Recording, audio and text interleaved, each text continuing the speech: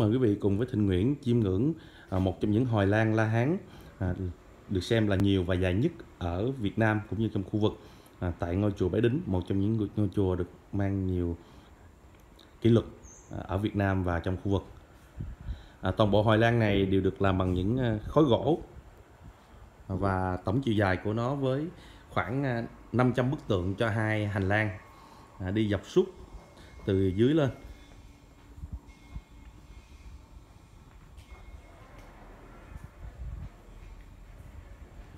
À, các la hán đều được tạc bằng đá. À, nặng khoảng ờ, 2 đến 3 tấn cho một bức tượng như thế này.